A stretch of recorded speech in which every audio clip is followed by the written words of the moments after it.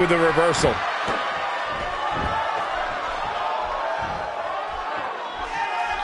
And there's the counter.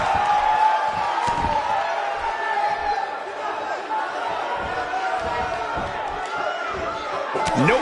Back a bit here. This may very well be one of his toughest challenges in a very long time. He's really starting to look fatigued here, guys, and when that happens, your whole body starts to give out on you. He's going to need to be careful here. And he lands the slam. And there it is. Got it two and a half. I don't think his opponent was expecting that.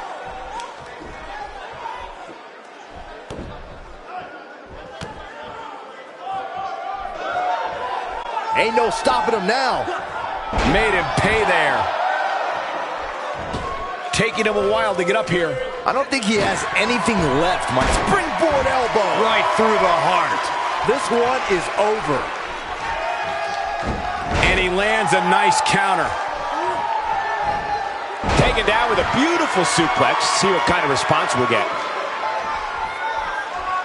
Saw that one coming.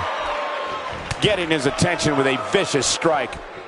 Hits him right between the eyes with the knee.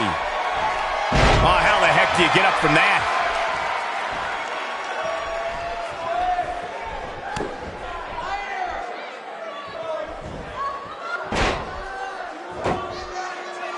Tyson Kidd is looking to end this thing.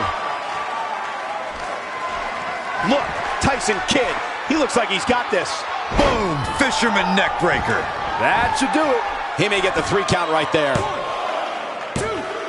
Well, I thought he had to pin for sure. I'm just as shocked as everyone else, Cole. His opponent included. Oh, boy, he is rolling.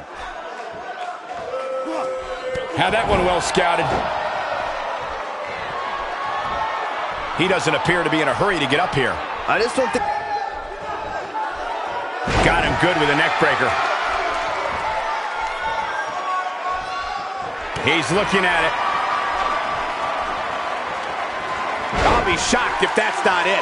That's what he was looking for. So you put an exclamation point on the end of a match. Will this be it? One, two. This singles match has come to an end. Wow.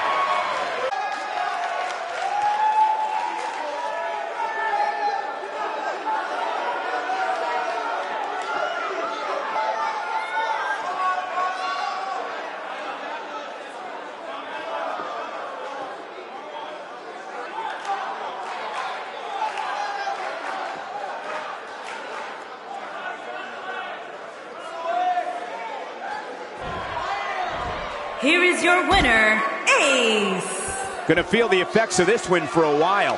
Few things are more rewarding than that feeling of keeping your opponent's shoulders down for the three count.